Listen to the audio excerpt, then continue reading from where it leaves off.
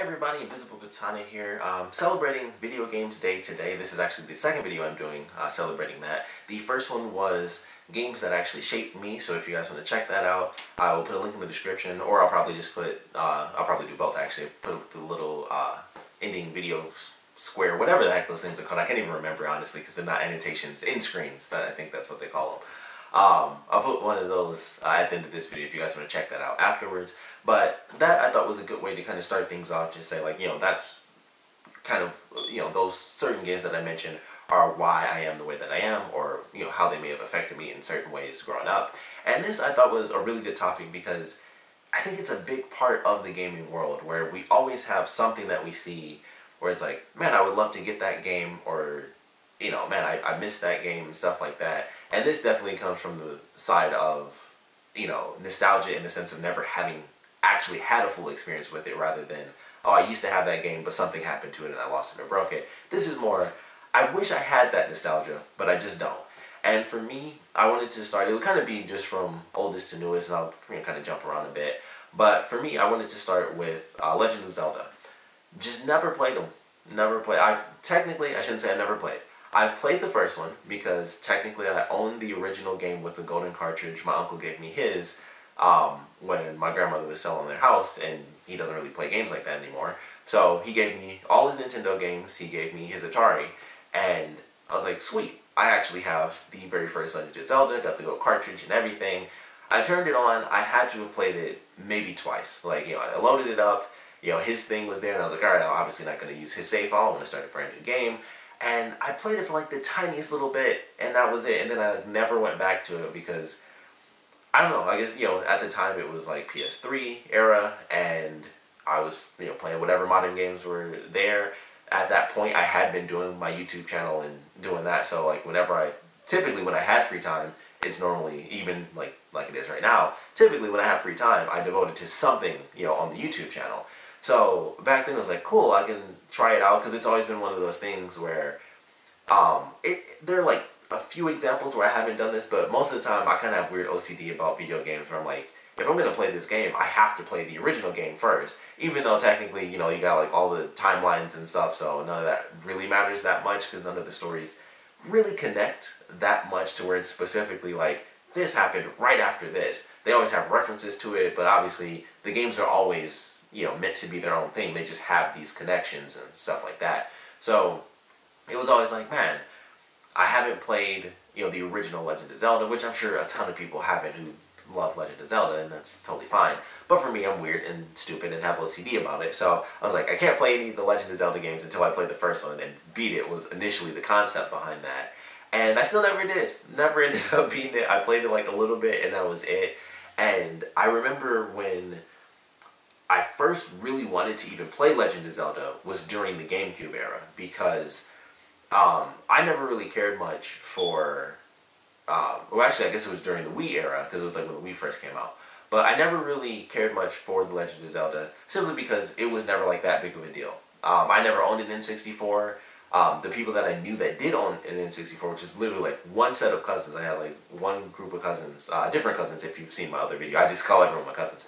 Um, but I had some cousins who had an N64, but they never had the Legend of Zelda games. They had Super Mario 64, so I, I played you know I played through that game, and they I had another set of cousins that had like you know Donkey Kong 64, but I never had anyone in my family that had the Legend of Zelda game. So it was never even there, you know, at least during that time, where it was like, oh, I'm missing this. And of course, eventually, you know, just like today, as the years go on and games become more and more, you know, a part of just the landscape of the world and pop culture, commercials are far more prevalent, you know, compared to what, you know, back then. Like, I remember seeing commercials during the Wii era and, you know, sort of the end of GameCube era when Twilight Princess was coming out.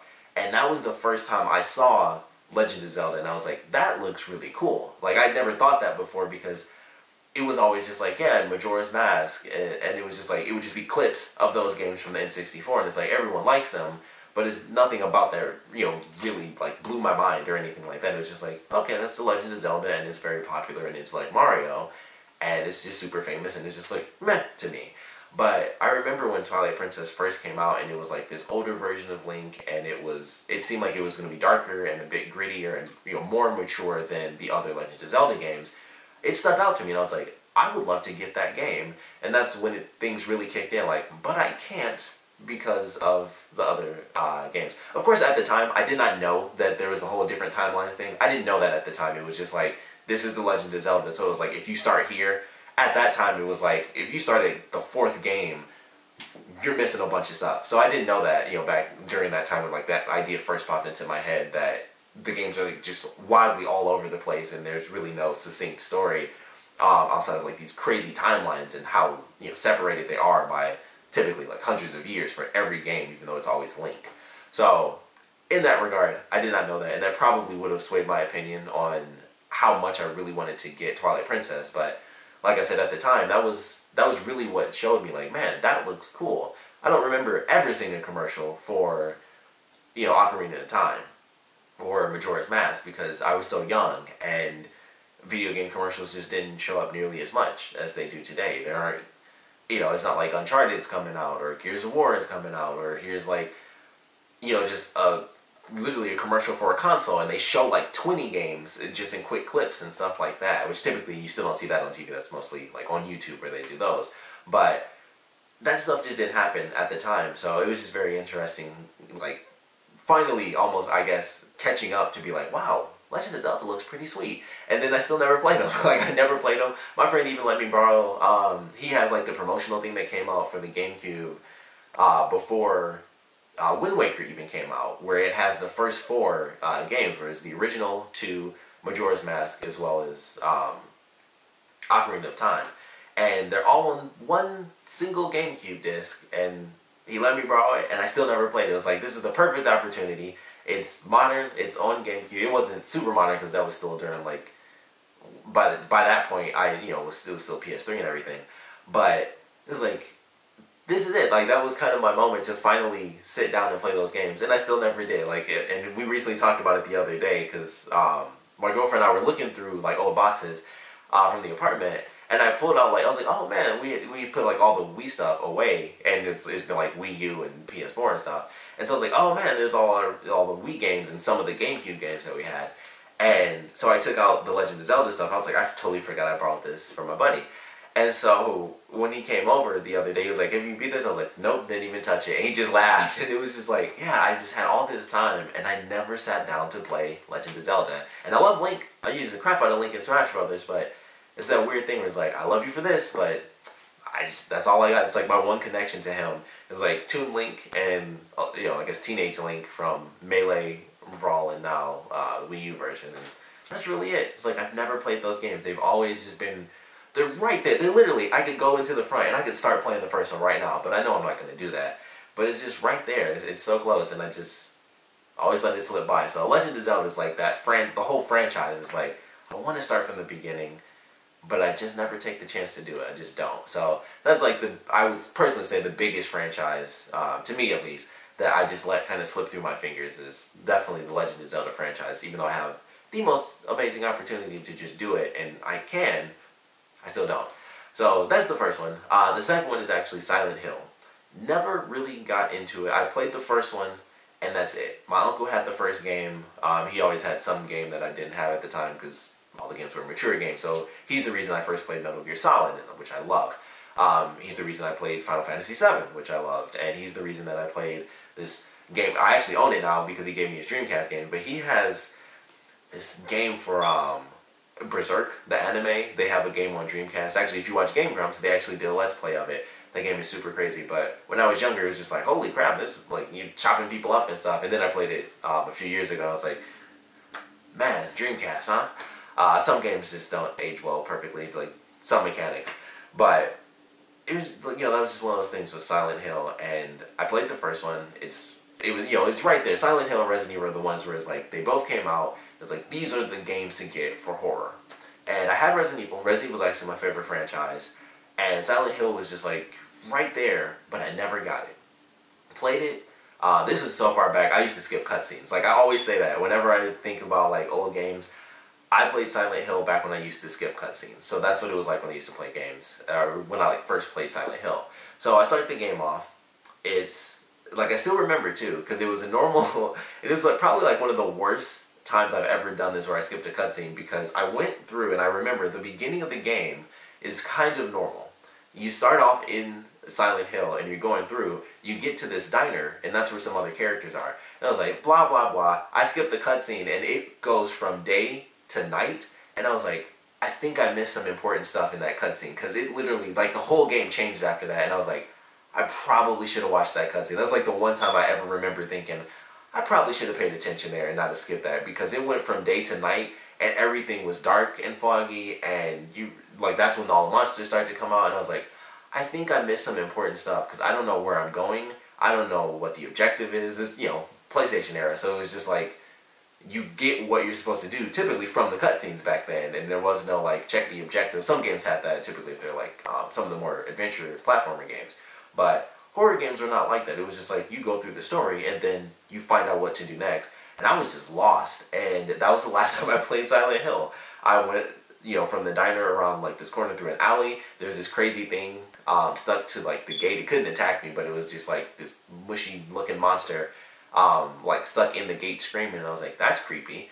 And I had no weapons. I didn't know what to do. I think I ended up being chased by something and I probably died. And I was like, I just don't know what to do. And then I think I stopped playing the game and that was it. You know, and that's Silent Hill. And there's been a million Silent Hill games, and I've just never played them. I know there was the HD collection, which um, I'm pretty sure was just the first three games.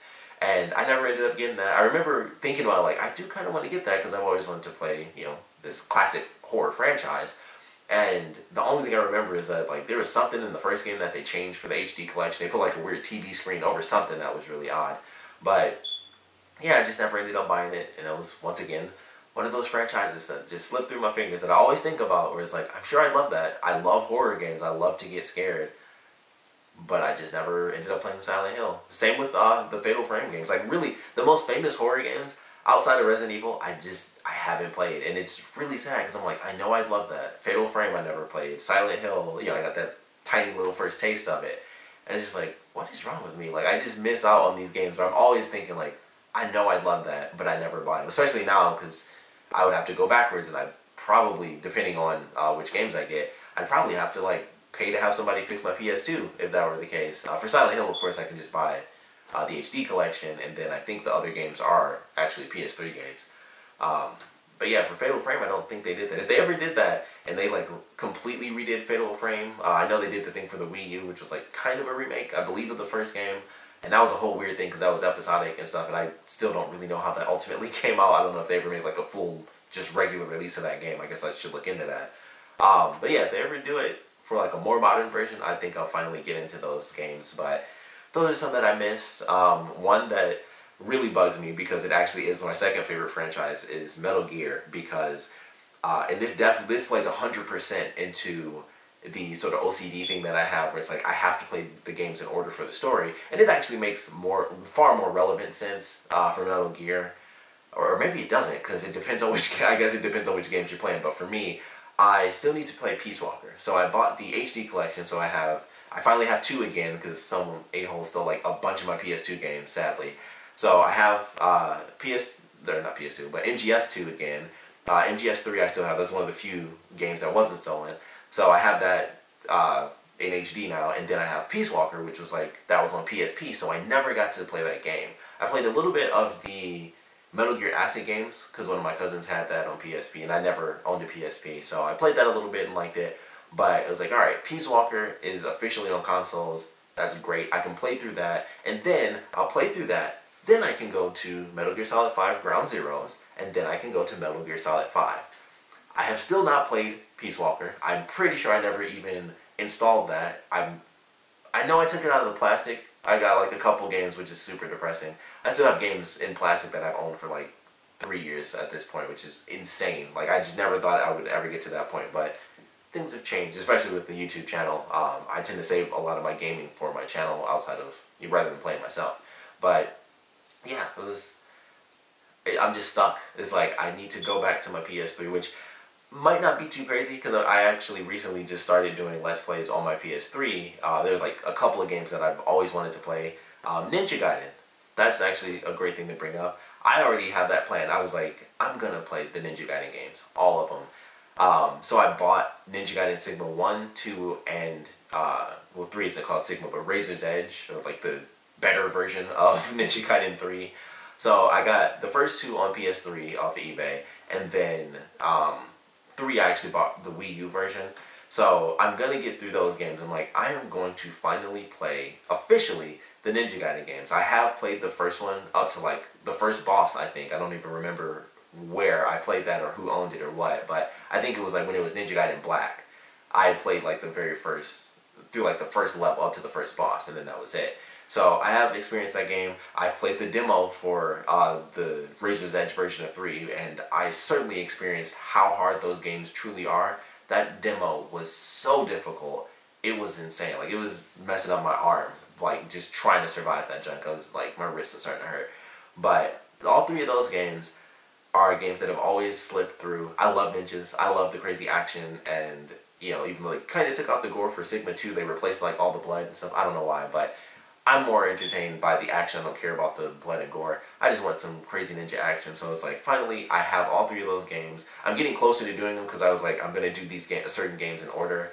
Um, another great game that always slipped through my fingers, like probably like one of the, is like the, I don't know, one of the first 10 PS3 games I think that ever came out, Heavenly Sword.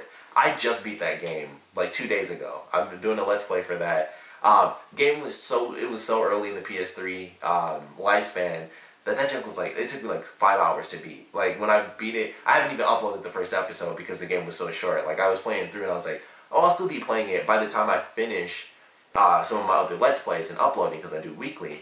I was like, all right, I might be like halfway through this game and then I'll start uploading the first episode. And then the other day I was like, oh, I'm at the end of the game. I didn't realize it was going to be this short. It was like, six, it took me like six hours, including like all my deaths and stuff. It took me like a total of like maybe six to seven hours to actually beat that game. Now, I don't think it was even seven, like around six hours. So it was just really funny. I was like, oh, I, I beat the whole thing and I didn't even like get through the process of uploading it. So that was one of the games that always slipped through my fingers. Another game, um, it's called Wet. I don't know how many people even remember that one, but I remember playing the demo and thinking this game is super cool and over the top, and it's got um, sort of that grindhouse feel gameplay, and you do a bunch of acrobatic slow motion stuff. And I just remember being like, this demo is super sweet. I want this game. And I never owned the game, and I was like, I'm gonna do it. And I bought the game on eBay, and I'm finally getting into that because I just beat Heavenly Sword. So I'm gonna start doing my Let's Play for uh, Wet as well. And it's like I feel like this. That's like a definitive list of games that I've that have always slipped through my fingers, and I'm finally starting to do them. And at some point, you know, like and those were for the channel, so that's really why I got to those games. Um, so like for Metal Gear, with me, I know I'm not going to be doing like a let's play for Metal Gear. I have to pick and choose in my free time what games I'm going to play. So with the PS3 over here, I have I do have to go get my HD collection, and I think I'll finally start doing that because it really is my second favorite franchise, and I it's weird, but I actually feel bad for not having played through five already, um, just because it's it's supposed to be my second favorite franchise, and I just have not taken the time out to play through it. But that's life. Like if I didn't work, I would have played through all my games by now. Like it would have been like all my free time, outside of spending time with my girlfriend, my other free time would have been like, all right, yeah, I'm gonna play through all the games that I've that have always slipped through my fingers. All the Legend of Zelda stuff, um, all you know the last two and a half, however you want to count, 2.2 uh, Metal Gear games, however you want to decide to count Ground Zeroes. But yeah, those are some of the games that have always kind of slipped through my fingers. Some of the horror games that just always right there. Never really played them. I should. I wish I remembered that because I would have asked my uncle when he was giving me like all these Dreamcast games and Nintendo games. I would have been like, "Where are your PlayStation games?" Because he was the reason I played Metal Gear and Silent Hill and all those other games. And I never thought to ask him like, do you still have those CDs? Because he had like the you know the whole stack. So I was like, crap. I, I always wish like I, I was thinking about that earlier today. I was like, I wish I asked him about that because that would have been how I played Silent Hill if he'd given me that game. Um, it's kind of the same with Dino Crisis. I hadn't played that in years, and when he gave me his Dreamcast, I was like, I'm about to play Dino Crisis again because I don't even know where my PlayStation Dino Crisis CD is, so I'm gonna play the Dreamcast version. Still didn't beat it, but I did play it through quite a few hours. Um, that's one of those weird things where I was like, for a while, I was like definitively like, I'm gonna re you know replay Dino Crisis and go through this game again and deal with these freaking terrifying velociraptors, much scarier than slow moving zombies. like Dino Crisis like actually gets me going because I freak out in that game. Like zombies don't run. Uh, they do now in Resident Evil, but no, those raptors were too fast for me. I was like, this actually freaks me out. Resident Evil was like, oh, they're over there. I can do my little, you know, run around technique. I was like, you can't do that with a Velociraptor. That junk gets serious, and it, it just freaks me out. Like, they hiss at you a little, and then that's when they start going. I'm just like, you know what? Freaky. Too freaky. But those are some of the games that have slipped through the cracks um, over the years. Um, as far as newer stuff, I just don't have the money. So I'm just like, I'm just going through my back you know, my backed up catalog of games. Like all my Steam games that I have, there are too many to mention. I got some Soul Reaver games I can't wait to play through. Um, Soul Reaver again, technically never beat it. I still have my CD for the first Soul Reaver. I never actually beat that game on PlayStation.